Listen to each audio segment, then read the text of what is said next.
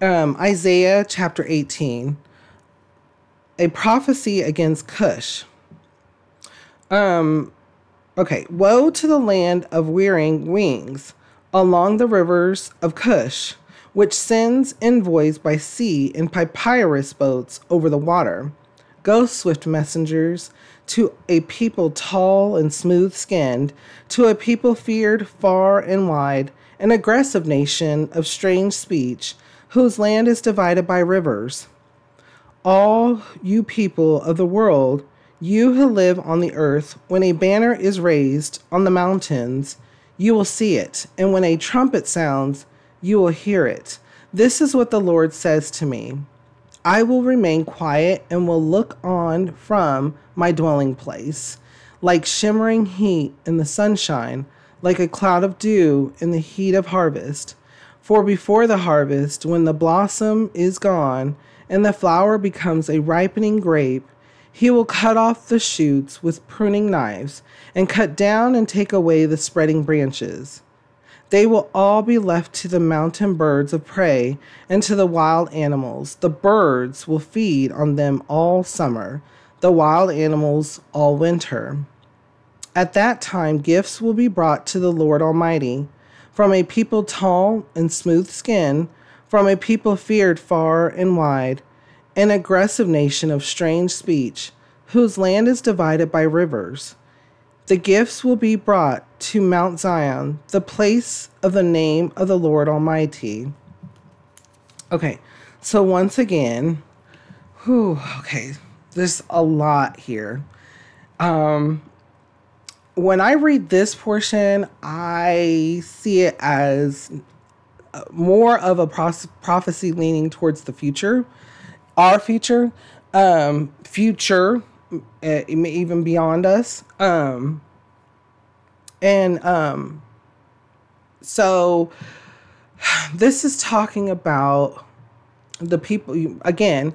So we're talking about all the um, nations around Israel. So this is Isaiah addressing all of the other nations around Israel because he's already addressed Israel. He already said, you know, because you're not following the Lord, there's there's going you're going to be exiled. And so if you continue if, you know, and if you decide to turn to follow the Lord, then great and that will delay or prevent but at that time he was basically just telling this is gonna what's gonna happen. Because they already gone they had already went down that path. And so um, now he's talking about the other nations round because remember, the God created every every single person, so there wasn't supposed to be um, everybody worshiping different things and not recognizing who the Lord is. And so the Lord saying, everybody, all these other nations too, they will know that I am the Lord. They will come back to me. And so um, we know that the exile they return is um, uh, Israel returns from the exile, and they get to rebuild the temple. And during that time, um, there may have been other people during you know from other areas, Cush, Moab, etc., that may have been because when Assyria and Babylon came in, they displaced everybody. They moved all kinds of people around from every different area. And so um, some um, Bible scholars believe that it's talking about that, but in and also he's talking about the future future. Like he is talking about what we'll be talking about and bring back up in Revelations, um, where all nations will know um, when the time comes, and we'll be talking about more information in regards to um, oh, I just don't want to give it away. there's so much. Our Lord and Savior Jesus. It's about our Lord and Savior Jesus, but there's so much to it. And so, um, goodness gracious, uh, bringing past to present. We don't know our future. You know, we don't know one day to the next. So the Lord wants us to worry about today, right?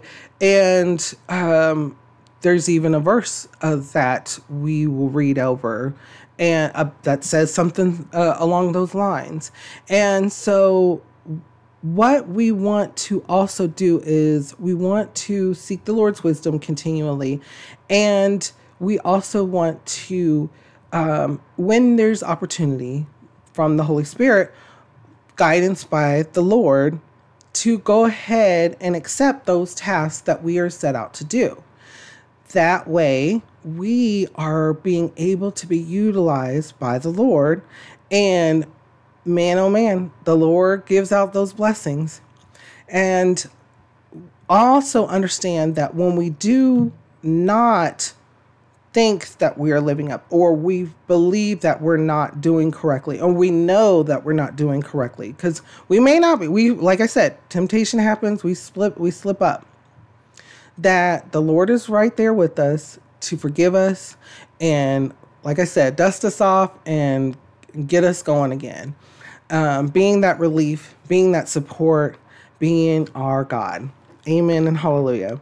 And that's for everybody. That is for everybody. And so there will be a time where all nations will know who the Lord is. FYI, for your information. What kind of thoughts or feelings come to your mind when we read over this? How does it make you feel and what does it make you think?